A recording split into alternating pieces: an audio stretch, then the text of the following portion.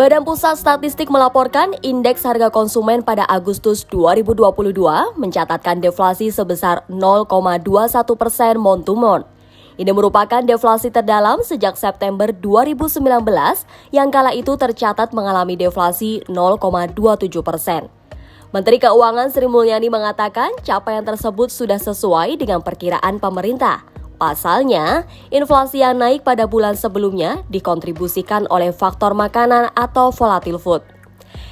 Deflasi yang disampaikan oleh BPS kan utamanya kontribusinya adalah dari volatile food yang kemarin meningkat sampai di atas 11,47 persen dan sekarang sudah turun ke 8 persen kontribusinya, kata Sri Mulyani Kamis 1 September.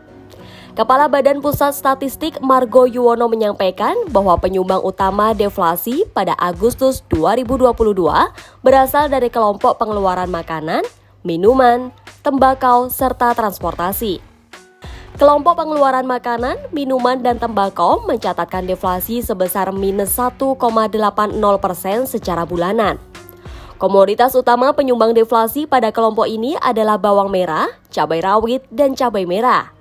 Makanan, minuman, dan tembakau memberikan andil 0,48 persen terhadap deflasi Agustus 2022.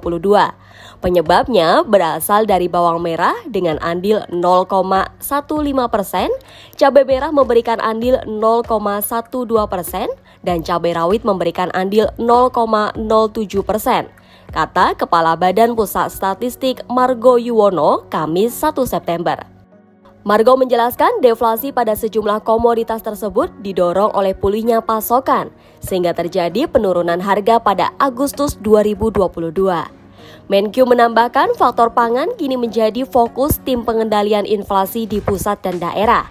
Jadi dalam hal ini Pemda yang mendapatkan dana transfer dari pemerintah pusat dalam bentuk dana yang tidak terduga itu diminta untuk bisa secara fleksibel untuk bisa menyumbang, meredam presur-presur harga jadi saya rasa ini bagus. Kita berharap ini bisa terjaga. Ujar Menteri Keuangan Sri Mulyani.